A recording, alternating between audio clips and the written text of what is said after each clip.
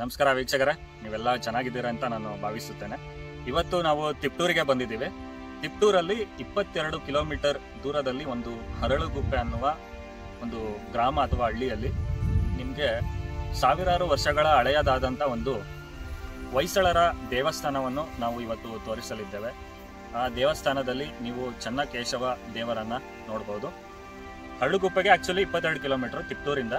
So ಈ ಹೈವೇಯಿಂದ ಹಳ್ಳುಗುಪ್ಪೆಗೆ ಒಂದು ಏಳು ಕಿಲೋಮೀಟರ್ ಡಿಸ್ಟೆನ್ಸ್ ಇದೆ. ಕರ್ನಾಟಕದಲ್ಲಿರುವ ಪ್ರತಿಯೊಂದು ಹೊಯ್ಸಳ ದೇವಸ್ಥಾನಗಳನ್ನು ನಾನು ನಿಮಗೆ ತೋರಿಸೋದಕ್ಕೆ ಪ್ರಯತ್ನ ಮಾಡ್ತೀನಿ. ಅದಕ್ಕೆ ನಿಮ್ಮ ನಿರಂತರ ಒಂದು ಸಪೋರ್ಟ್ ಬೇಕು. ಸೊ ದಯವಿಟ್ಟು ಚಾನಲ್ನ ಸಬ್ಸ್ಕ್ರೈಬ್ ಮಾಡ್ಕೊಳ್ಳಿ ವಿಡಿಯೋನ ಲೈಕ್ ಮಾಡಿ. ವೀಕ್ಷಕರೇ, ಈ ದೇವಸ್ಥಾನ ತುಮಕೂರು ಸಿಟಿಯಿಂದ ಕೇವಲ ಅರವತ್ನಾಲ್ಕು ಕಿಲೋಮೀಟರ್ ಹಾಗೂ ಹಾಸನದಿಂದ ಎಪ್ಪತ್ತೈದು ಕಿಲೋಮೀಟರ್ ಮೈಸೂರಿನಿಂದ ನೂರ ಮೂವತ್ತೆರಡು ಕಿಲೋಮೀಟರ್ ಹಾಗೂ ಬೆಂಗಳೂರಿನಿಂದ ನೂರ ಮೂವತ್ತ್ನಾಲ್ಕು ಕಿಲೋಮೀಟರ್ ದೂರ ಇದೆ. ವೀಕ್ಷಕರೇ, ಚನ್ನಕೇಶವ ದೇವಾಲಯದ ಮುಂಭಾಗವನ್ನು ನೀವು ನೋಡಬಹುದು. ಈ ದೇವಸ್ಥಾನವನ್ನು ಹಿಂದೂ ದೇವರಾದ ವಿಷ್ಣುವಿಗೆ ಸಮರ್ಪಿಸಲಾಗಿದೆ. ವೀಕ್ಷಕರೇ, ಈ ದೇವಾಲಯದ ಬಾಗಿಲನ್ನು ಬೆಳಗ್ಗೆ ಎಂಟರಿಂದ ಸಂಜೆ ಐದರವರೆಗೆ ಪ್ರತಿದಿನ ತೆರೆದಿರುತ್ತದೆ. ಈ ದೇವಾಲಯವನ್ನು ಹೊಯ್ಸಳ ಸಾಮ್ರಾಜ್ಯದ ರಾಜ ಆದಂತಹ ವೀರಸೋಮೇಶ್ವರ ಅವರ ಒಂದು ಆಡಳಿತದ ಸಮಯದಲ್ಲಿ ಕ್ರಿಸ್ತಶಕ ಹದಿಮೂರನೇ ಶತಮಾನದಲ್ಲಿ ನಿರ್ಮಿಸಿರುತ್ತಾರೆ. ವೀಕ್ಷಕರ ದೇವಸ್ಥಾನದ ಒಳಭಾಗದಲ್ಲಿ ನೋಡುವುದಾದರೆ ಈ ರೀತಿಯ ಒಂದು ದೃಶ್ಯವನ್ನು ನೀವು ಕಾಣಬಹುದು. ಗರ್ಭಗುಡಿಯಲ್ಲಿ ಆರು ಅಡಿಯ ಎತ್ತರದ ಒಂದು ಕೇಶವ ವಿಗ್ರಹವನ್ನ ನೀವು ನೋಡಬಹುದು. ತುಂಬ ಸುಂದರವಾಗಿ ಈ ವಿಗ್ರಹವನ್ನು ಮಾಡಿರ್ತಕ್ಕಂಥದ್ದು. ವೀಕ್ಷಕರೇ, ಈ ದೇವಾಲಯಕ್ಕೆ ಯಾವುದೇ ರೀತಿಯ ಒಂದು ಪ್ರವೇಶ ಶುಲ್ಕ ಇರುವುದಿಲ್ಲ. ಇದು ಸಂಪೂರ್ಣವಾಗಿ ಉಚಿತವಾಗಿರುತ್ತದೆ ಈ ಕೇಶವ ದೇವಾಲಯ ಏಕಕೂಟ ದೇವಸ್ಥಾನ ಆಗಿರುತ್ತದೆ.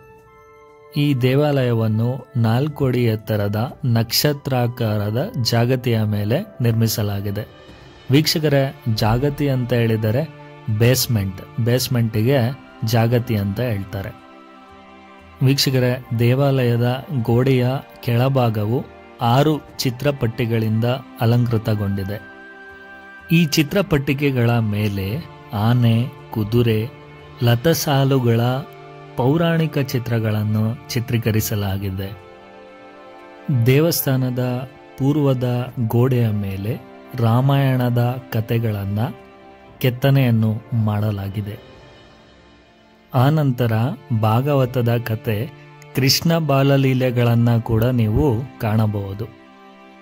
ವೀಕ್ಷಕರ, ಈ ದೇವಾಲಯಕ್ಕೆ ಯಾವುದೇ ರೀತಿಯ ಒಂದು ಸರ್ಕಾರಿ ಬಸ್ ಸೌಲಭ್ಯ ಇರುವುದಿಲ್ಲ. ಈ ದೇವಸ್ಥಾನಕ್ಕೆ ನೀವು ಬರಬೇಕೆಂದಲ್ಲಿ ನಿಮ್ಮ ಕಾರ್ ಅಥವಾ ಬೈಕ್ನ ಸಹಾಯದಿಂದ ಬರಬೇಕಾಗುತ್ತದೆ. ವೀಕ್ಷಕರ, ಈ ದೇವಾಲಯದ ಸ್ಥಳದ ಒಂದು ಗೂಗಲ್ ಮ್ಯಾಪ್ಸ್ ಲಿಂಕನ್ನು ನಾನು ಡಿಸ್ಕ್ರಿಪ್ಷನಲ್ಲಿ ಕೊಟ್ಟಿರ್ತೀನಿ. ಸೊ ಆ ಲಿಂಕ್ನ ಒಂದು ಸಹಾಯದ ಮೂಲಕ ನೀವು ನಿಮ್ಮ ಯಾವುದೇ ಒಂದು ಸ್ಥಳದಿಂದ ಈ ದೇವಸ್ಥಾನದ ಲೊಕೇಶನ್ಗೆ ಎಷ್ಟು ದೂರ ಆಗುತ್ತದೆ ಮತ್ತು ಯಾವ ದಾರಿಯಿಂದ ಬರಬಹುದೆಂದು ನಿಮಗೆ ಸಹಾಯವಾಗುತ್ತದೆ.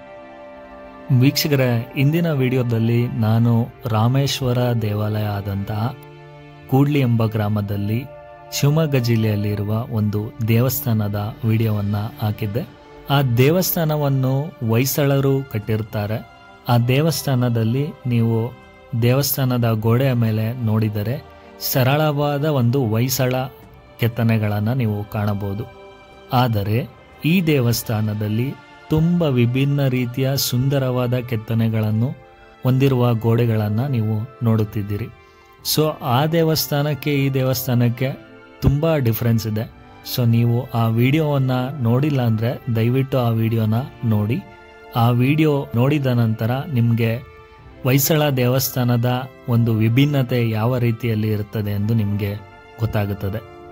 ವೀಕ್ಷಕರೇ, ಹೊಯ್ಸಳ ಸಾಮ್ರಾಜ್ಯದ ಒಂದು ಆಡಳಿತ ಸಮಯದಲ್ಲಿ ಸರಿಸುಮಾರು ಒಂದೂವರೆ ಸಾವಿರ ದೇವಾಲಯಗಳನ್ನು ಅವರು ನಿರ್ಮಿಸಿರುತ್ತಾರೆ. ಆದರೆ ಇವಾಗ ಕೇವಲ ನೂರು ದೇವಸ್ಥಾನಗಳು ಮಾತ್ರ ಉಳಿದಿವೆ. ಈ ಎಲ್ಲ ನೂರು ಹೊಯ್ಸಳ ದೇವಾಲಯಗಳನ್ನು ನಾನು ನಿಮಗೆ ತೋರಿಸಲು ನನ್ನ ಸಂಪೂರ್ಣ ಪ್ರಯತ್ನವನ್ನು ಮಾಡುತ್ತೇನೆ. ಈ ಹೊಯ್ಸಳ ಸಾಮ್ರಾಜ್ಯದ ರಾಜರು ಏನು ಮಾಡ್ತಿದ್ರು ಅಂದರೆ, ಈ ರೀತಿಯ ಒಂದು ಸುಂದರವಾದ ದೇವಸ್ಥಾನಗಳನ್ನು ನಿರ್ಮಿಸಲು ಅವರು ಸುಣ್ಣದ ಕಲ್ಲುಗಳು ಅಥವಾ ಬಳಪದ ಕಲ್ಲುಗಳನ್ನು ಬಳಸ್ತಿದ್ರು. ಏಕೆಂದರೆ ಈ ಕಲ್ಲುಗಳು ತುಂಬ ಸಾಫ್ಟ್ ಆಗಿರುತ್ತೆ. ಸೊ ಈ ಡಿಸೈನ್ಸ್ ಏನು ಮಾಡಿದ್ದಾರೆ? ಈ ರೀತಿಯ ಒಂದು ಡಿಸೈನ್ಸ್ನ ತುಂಬ ಸುಂದರವಾಗಿ ಈ ಕಲ್ಲುಗಳಲ್ಲಿ ಮಾಡಬಹುದು. ಸೊ ಆದ್ದರಿಂದ ಈ ಕಲ್ಲುಗಳು ತುಂಬ ಸಾಫ್ಟ್ ಆಗಿರೋದರಿಂದ ಅದರ ಮೇಲೆ ಏನಾದರೂ ಫೋರ್ಸ್ ಹಾಕಿದರೆ ಬೇಗನೆ ಮುರಿದೋಗ್ಬಿಡುತ್ತೆ. ವೀಕ್ಷಕರೇ, ನೀವು ಆವಾಗಲಿಂದ ಈ ತುಂಬ ಸುಂದರವಾದ ಕೆತ್ತನೆಗಳನ್ನು ನೋಡ್ತಿದ್ದೀರಿ. ಇದು ದೇವಸ್ಥಾನದ ಗೋಡೆಯ ಮಧ್ಯಭಾಗದಲ್ಲಿ ಈ ರೀತಿಯ ಕೆತ್ತನೆಗಳನ್ನು ನಾವು ಕಾಣಬಹುದು. ಈ ಎಲ್ಲ ಕೆತ್ತನೆಗಳು ವೈಷ್ಣವ ಅಲಂಕೃತ ಶಿಲ್ಪಗಳಾಗಿರುತ್ತವೆ. ಇವುಗಳಲ್ಲಿ ಶ್ರೀದೇವಿ ಮತ್ತು ಭೂದೇವಿಗಳಿಂದ ಕೂಡಿದ ಇಪ್ಪತ್ನಾಲ್ಕು ವಿಷ್ಣುವಿನ ರೂಪಗಳನ್ನು ನೋಡಬಹುದು. ವೀಕ್ಷಕರೇ, ಇದಲ್ಲದೆ ನೀವು ಬೇರೆ ಬೇರೆ ದೇವರುಗಳನ್ನು ನೋಡಬಹುದು. ಅದ್ಯಾವುದೆಂದರೆ ನಾರಾಯಣ, ಯಕ್ಷ, ಯಕ್ಷಿ, ಲಕ್ಷ್ಮಿ, ನೃತ್ಯ ಗಣೇಶ, ಮೋಹಿನಿ ಷಡ್ಭುಜ ಸರಸ್ವತಿ, ವೇಣುಗೋಪಾಲ, ಕೃಷ್ಣ, ಲಕ್ಷ್ಮೀ ನರಸಿಂಹ, ಉಗ್ರ ನರಸಿಂಹ ಹೀಗೆ ಹಲವಾರು ದೇವರುಗಳ ಕೆತ್ತನೆಗಳನ್ನು ಈ ದೇವಸ್ಥಾನದ ಗೋಡೆಯ ಮೇಲೆ ನೀವು ಕಾಣಬಹುದು. ಈ ಎಲ್ಲ ಶಿಲ್ಪಗಳ ಪೀಠಭಾಗದಲ್ಲಿ ಶಿಲ್ಪಿಯಾದಂತಹ ವನ್ನೋಜನ ಅವರ ನಾಮಾಂಕಿತವಿದೆ. ವೀಕ್ಷಕರೇ, ಸಾವಿರಾರು ವರ್ಷಗಳ ಹಿಂದೆ ಈ ರೀತಿಯ ಒಂದು ಕೆತ್ತನೆಗಳನ್ನು ಆ ಶಿಲ್ಪಿಗಳು ಈ ರೀತಿ ಸುಂದರವಾಗಿ ಕೆತ್ತಿರುವುದನ್ನು ನೋಡಿದರೆ ತುಂಬ ಆಶ್ಚರ್ಯಕರ ಆಗುತ್ತದೆ ಏಕೆಂದರೆ ಈ ಕೆತ್ತನೆಗಳು ರಿಯಲ್ ಆಗಿ ದೇವರು ಕಣ್ಮುಂದೆ ಇದೆ ಅನ್ನೋ ರೀತಿಯಲ್ಲೇ ಅವರು ಕೆತ್ತನೆಗಳನ್ನು ಮಾಡಿದ್ದಾರೆ. ತುಂಬ ಸುಂದರವಾಗಿ ಮಾಡಿದ್ದಾರೆ. ಸೊ ದಯವಿಟ್ಟು ಈ ದೇವಸ್ಥಾನಕ್ಕೆ ಭೇಟಿ ನೀಡಲು ಪ್ರಯತ್ನವನ್ನು ಮಾಡಿ. ವೀಕ್ಷಕರ, ಈ ಕೇಶವ ದೇವಾಲಯದ ದಕ್ಷಿಣ ಭಾಗದಲ್ಲಿ ನರಸಿಂಹ ದೇವಾಲಯವನ್ನು ಕೂಡ ಕಟ್ಟಿದ್ದಾರೆ.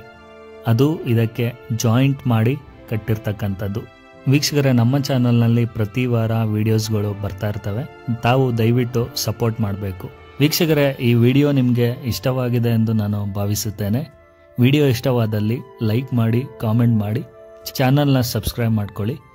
ವೀಕ್ಷಕರೇ, ಮತ್ತೆ ಒಂದು ಹೊಸ ವಿಡಿಯೋದಲ್ಲಿ ಭೇಟಿಯಾಗೋಣ. ಅಲ್ಲಿವರೆಗೂ ಧನ್ಯವಾದಗಳು.